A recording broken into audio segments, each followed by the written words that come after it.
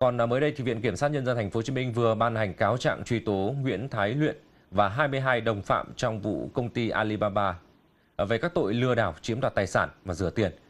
Cơ quan chức năng kết luận là bằng các cái thủ đoạn thì Nguyễn Thái Luyện và đồng bọn đã lừa đảo chiếm đoạt tài sản của 4.316 khách hàng với tổng giá trị vào khoảng 2.264 tỷ đồng.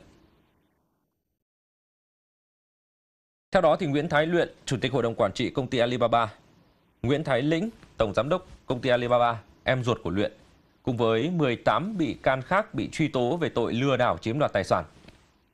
Bị can Võ Thị Thanh Mai, Giám đốc công ty cổ phần Alibaba Law Firm, Nguyễn Thái Lực, Giám đốc công ty trách nhiệm hữu hạn đầu tư và thương mại Địa ốc xanh, em ruột của Luyện, bị truy tố về hai tội lừa đảo chiếm đoạt tài sản và rửa tiền.